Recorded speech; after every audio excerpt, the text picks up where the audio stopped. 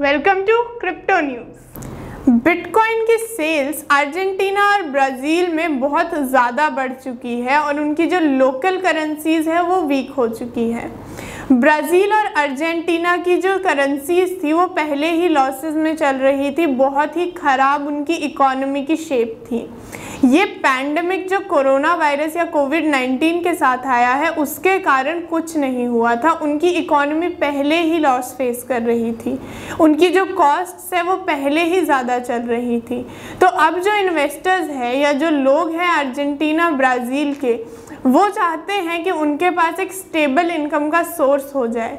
तो उसके लिए वो क्या कर रहे हैं कि वो बिटकॉइन में इन्वेस्ट करना स्टार्ट कर रहे हैं। इसकी वजह से जो भी एक्सपर्ट्स हैं, उनका मानना है कि ब्राज़ील और अर्जेंटीना की जो भी इकोनॉमी है, वो थोड़ी ऊपर आई है, क्योंकि उसमें जो इन्वेस्टर्स हैं, उनके रिटर्न्स बढ़ रहे हैं। और जो उनकी इकोनॉमी की हालत पूरी तरह से ख़राब हो चुकी थी, उसमें थोड़ी मदद मिल रही है।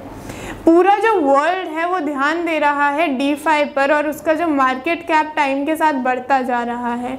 क्योंकि लोग इंटरेस्टेड है उसमें इन्वेस्ट करने में, अपनी अमाउंट्स लॉक इन करने में।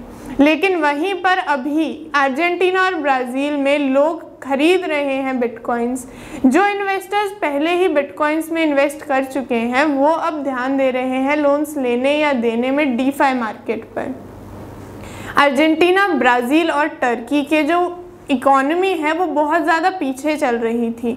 तो वहाँ के लोगों ने अब उसमें इंटरेस्ट क्रिएट करना स्टार्ट किया है। अब ये समझना स्टार्ट किया है कि किस तरह से क्रिप्टो करेंसी बिटकॉइन में वो इन्वेस्टमेंट कर सकते हैं और ट्रेडिंग कर सकते हैं। देखना हमें यही होगा कि ये जो इकोनॉमीज़ है, वो ग्रो कर रही है इसकी वजह से। तो उनकी गवर्नमेंट रेगुलेशंस ला के इसे प्रोत्साहित करती है और लोगों को कन्विंस करती है कि आप हमारी करेंसी को छोड़कर क्रिप्टो करेंसीज इस्तेमाल करें, या फिर वो ये नहीं चाहती और ये रेगुलेशंस लाती हैं कि वहाँ पर बिटकॉइंस नहीं यूज़ किए जा सकते। क्योंकि अनसर्टेनिटी है, इसलिए लोग ज़्यादा इन्वेस्ट नहीं कर सकते हैं। लेकिन लोग फिर भी बढ़ चढ़कर इसमें इन्वेस्ट कर रहे हैं और बिटकॉइंस खरीद रहे हैं, जिसकी वजह से बिटकॉइन में एक्टिविटी आ रही है। जैसे कि हम पहले ट्रेंड से देख ही रहे हैं कि बिटकॉइन का जो प्राइस है वो बढ़ता चला जा रहा है।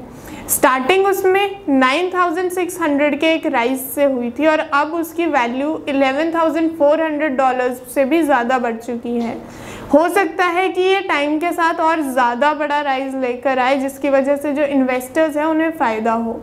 तो अब हमें यही देखना है कि वर्ल्ड में जो क्रिप्टो करेंसीज़ को लेके स्टेप्स लिए जा रहे हैं, वो क्रिप्टो करेंसीज़ को कौन सी नई ऊंचाइयों पर लेकर जाते हैं और उसकी वजह से इन्वेस्टमेंट कितनी ज़्यादा बढ़ती है?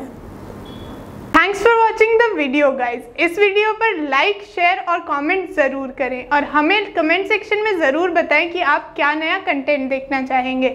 अगर आपको फाइनेंस की दुनिया में बहुत इंटरेस्ट है तो हमारे चैनल को सब्सक्राइब ज़रूर करें। और बेल आइकन दबाना ना भूलें, ताकि आप हमारा कोई भी नया वीडियो मिस ना करें।